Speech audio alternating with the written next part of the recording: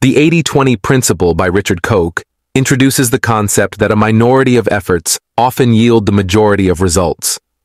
Known as the Pareto principle, it suggests that approximately 80% of outcomes come from 20% of inputs.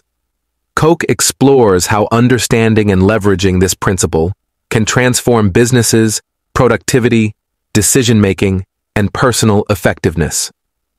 By identifying the vital few factors that drive the most impact, individuals and organizations can focus their efforts where they matter most, leading to greater efficiency, productivity, and success.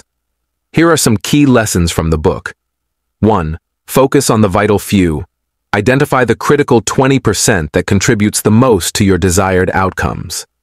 By recognizing these vital few elements, you can prioritize and channel your efforts where they matter most, maximizing your productivity and results. 2.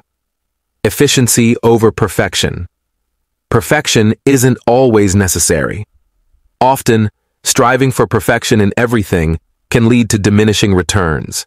Instead, focus on achieving excellence in the vital few areas that generate the most significant impact. 3. Pareto Principle in Action The 80-20 principle can be applied across various domains. In business, it might mean that 80% of profits come from 20% of customers. Understanding this principle helps in resource allocation and decision-making. 4. Leverage imbalance. Recognize and leverage the imbalance in input-output ratios. Small inputs often generate disproportionate outputs. This can be applied to time management, work tasks, or even personal goals. 5. Adaptation and iteration. The 80-20 principle isn't fixed, it's dynamic and can change over time. Continuously reassess where the majority of your results come from and adapt your strategies accordingly. 6. Simplicity and focus. Simplify complex situations by identifying the few critical factors that influence outcomes the most.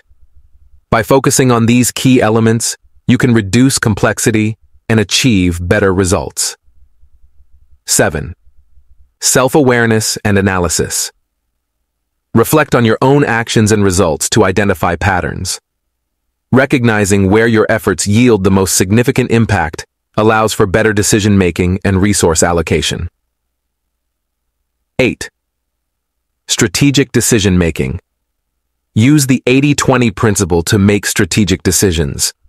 It helps in prioritizing tasks, selecting opportunities, and allocating resources more effectively.